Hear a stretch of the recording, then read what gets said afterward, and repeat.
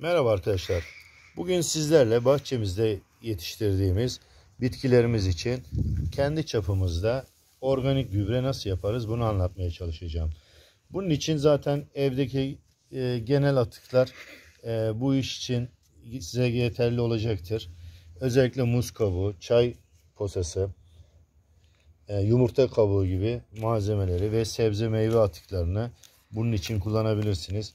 Şimdi hemen hızlı bir şekilde anlatmaya başlayalım. Öncelikle bahçenizde bir çukur kazacaksınız. 5 litrelik bir pet şişe veyahut da ne kadar ebatta istiyorsanız atığınıza göre bir kap ayarlayın. Amacımız toprağa gömüp karanlıkta kalmasını sağlamak. Onun için hemen başlayalım. Önce kabımızın dibine biraz toprağımızı ince toprağımızdan koyuyoruz. Sonra e, örneğin muz kabuklarını, çay posası, koyuyoruz. Evsel atıklarımızdan koyuyoruz. Evet görüyorsunuz. Bunun için dolduruyoruz. Biraz arasına yine toprak.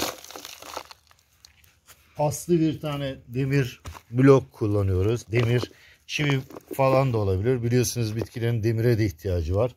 Onun için karışık bir şekilde atıklarımızı dolduruyoruz.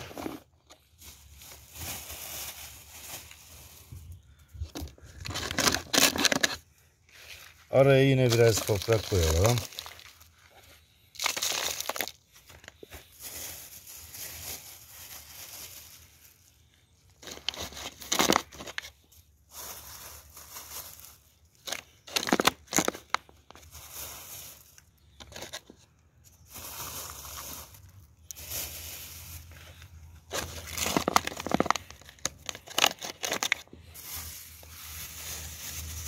Çay posamız.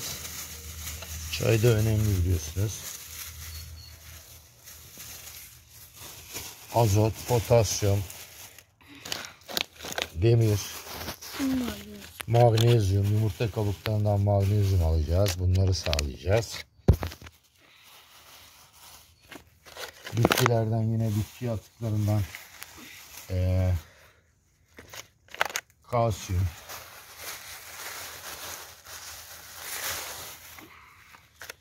Evet. Şimdi yine üstüne ince bir toprak koyalım. Kalsiyumun tam belirginleşmesi için biraz sirke dökebilirsiniz. Yumurta kabuklarını etkileyip kalsiyumun ortaya çıkmasını sağlar. Evet. İnce toprağımızı ekliyoruz.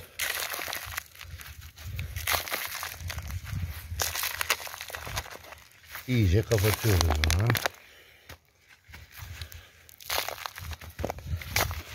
Yaklaşık 15-20 gün sonra çevresini de gömüyoruz.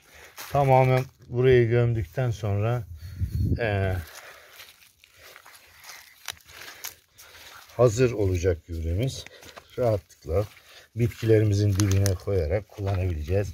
İsterseniz sıvı sıvılaştırıp dibine hemen anında su halinde kullanabilirsiniz. Evet. Şu anda gübremiz hazır. Bir 15-20 gün sonra hazır olacak ve bitkilerimiz için kullanacağız arkadaşlar. Teşekkür ederiz. İyi günler diliyorum. Tekrar yeni videolarla karşınızda olacağız.